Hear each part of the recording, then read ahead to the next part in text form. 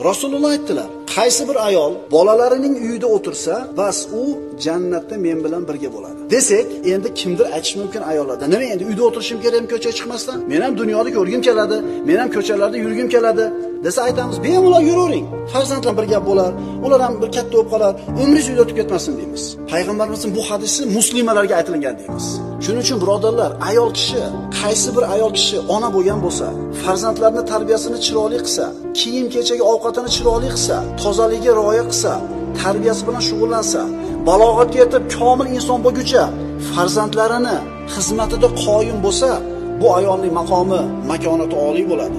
Uyida o'tirgan ayol afzal bo'ladi ming marta. Hatto ayrim erkaklardan baland bo'ladi maqomi.